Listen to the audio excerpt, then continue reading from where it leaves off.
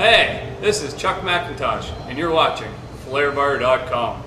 Today, I'm going to be teaching you one of my all-time patented moves. It's one of my favorites, and you're going to love it. It's one of those moves that once you get it right, you look like a star. But if you don't, you look like an idiot. Here's what it is.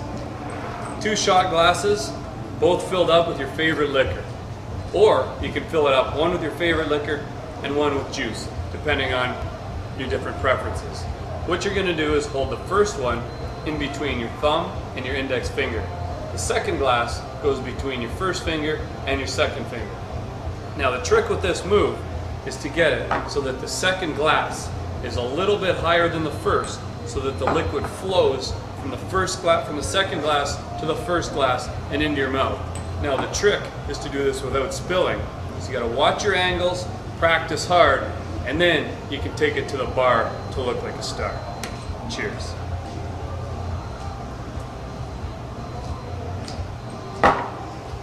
And that's the hobgoblin. Okay, so now you know what a hobgoblin is. Well, now I'm going to teach you a little bit of history behind it, and I'm going to teach you how to order it. Nowadays, when people order hard alcohol, sometimes they order a chaser with it.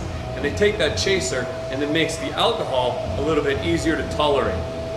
Back in the day, there was no such thing as a chaser. They would it was called back then, they would order it you freak, which comes from the Latin word euphratsia.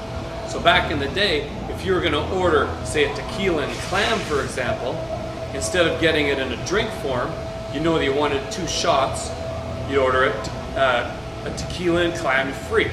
So it would come as two shots instead of in a drink. Just like ordering a drink on the rocks or neat or shaken or stirred or anything like that, that's how it came. You'd order it, you freak.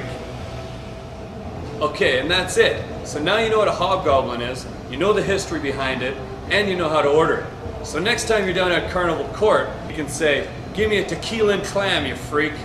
But if you're with me and you're gonna order me a drink, I'll take three Jaegers, you freak.